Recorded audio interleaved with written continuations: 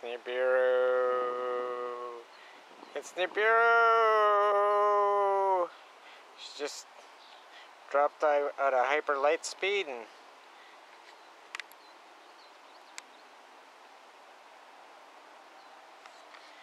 let's try and have a closer look before she blows.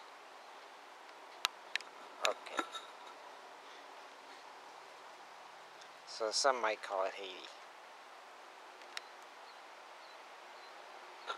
Anywho, let's have a look. Where the camera melts. Okay, this is the before. And we'll be back in uh, 16 minutes.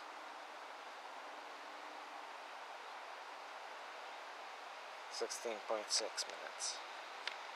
Alrighty.